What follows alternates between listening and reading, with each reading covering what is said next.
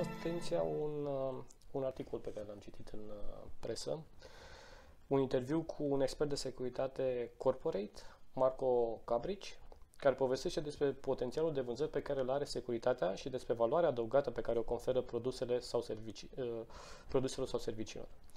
Acesta invocă un caz din cariera sa în Philly Morris din Europa de Est. Nu știu dacă știi articolul, dar o să vedem până la urmă. Știu cazul.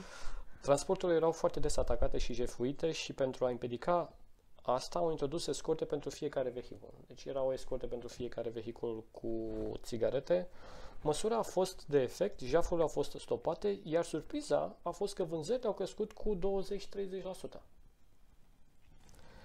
Când clienții au văzut că produsele sunt escortate de securitate, au considerat că și valoarea produsului a crescut, astfel că Astfel, cu toate că prețul a rămas la uh, același în magazin, au crescut vânzările foarte mult.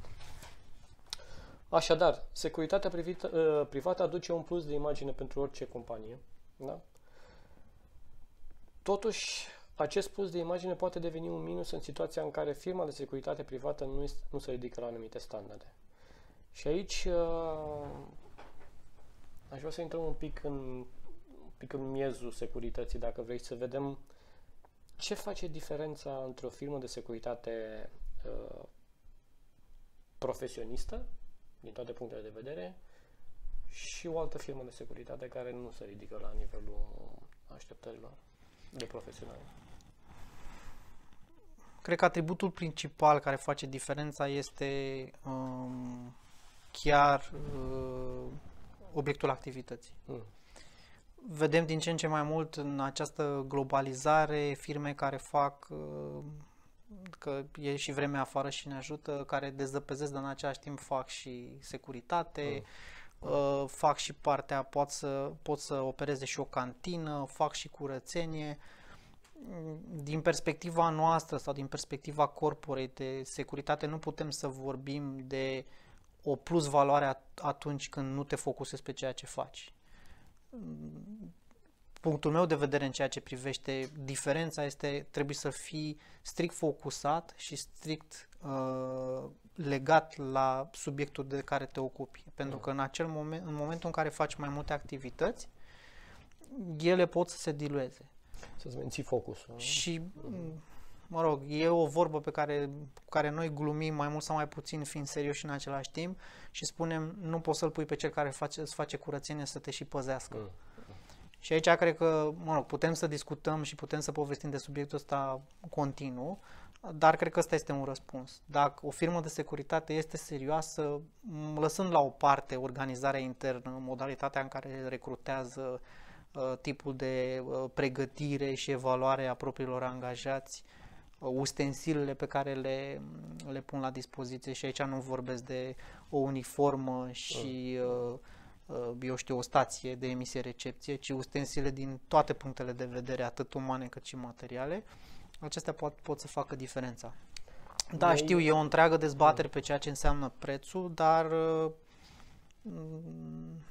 tot așa, din lumea corporate... O, o să revenim la chestia cu prețul, pentru că e o chestie foarte interesantă, dar până atunci, și uite, avem o întrebare venită de la uh, un fost coleg de-al meu. Un fost coleg de-al tău, da, pe, pe LinkedIn, care, uh, Aurel Petrică, de la G4S, care spune felul următor. Gino, salut! Ce diferență vezi, ce diferențe vezi din cealaltă parte a baricadei, luând în considerare faptul că în trecut ai reprezentat prestatorul, iar acum reprezinți beneficiarul? Asta este prima întrebare. Iar cea de-a doua, Uh, vrei să răspunzi la prima? Și, mm, Răspund la amândouă. Uh, ce recomandări ai pentru prestator? Recomandări rezultate din experiența căpătată în ambele părți. Diferența majoră este aceea de a nu te duce niciodată să promiți ceea ce, va, ceea ce nu vei fi în stare să, uh, să livrezi. Din păcate, și am lucrat în industrie de cele mai multe ori, sau industria a fost obișnuită să se ducă în fața clientului, să-i spună că poate să facă ceva mm. în ideea de a atrage contractul. A fost, a fost și cred că încă mai este o fugă aproape nebunească de a câștiga un contract fără a te gândi dacă tu poți din punct de vedere profesional și calitativ să oferi serviciile respective. Suntem în anul 2018 în care securitatea înseamnă mai mult decât să pui un om la poartă uh, înseamnă mai mult decât să ai un semn că acest perimetru este păzit sau că este monitorizat video, înseamnă mult mai mult. Companiile care nu reușesc să aibă acest mix bun de tehnologie și cu o parte umană foarte bine pregătită, nu cred că au foarte multe șanse de succes decât dacă, și probabil că o să discutăm din nou mai târziu, decât dacă totul se trece prin prisma prețului. Corect. Dacă ar fi să răspund la a doua întrebare, care de fapt are legătură și cu prima, e la fel. Promite ceea ce poți să livrezi, iar ceea ce nu poți să livrezi, încearcă să lucrezi cu clientul, să înțelegi nevoia și să vezi cum eu poți acoperi. Și fi constant în corectitudine. Eu am apreciat, uh, fiind și de partea cealaltă a baricadei, am încercat și cred că am și reușit, de fiecare dată să mă duc și să spun, ok, noi atât putem să facem. Mm. Da, înțelegem ce vă doriți, este disponibil, dar nu îl avem noi disponibil acum. Mm.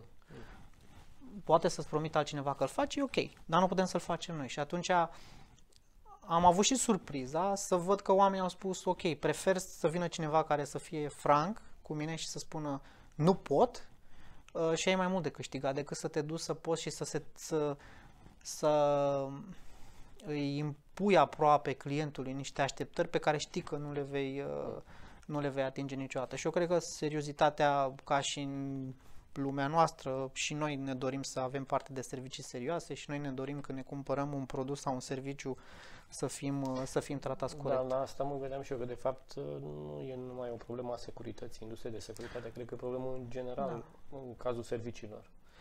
Și aici vorbim de la curățenie, uh, servicii medicale și așa mai departe.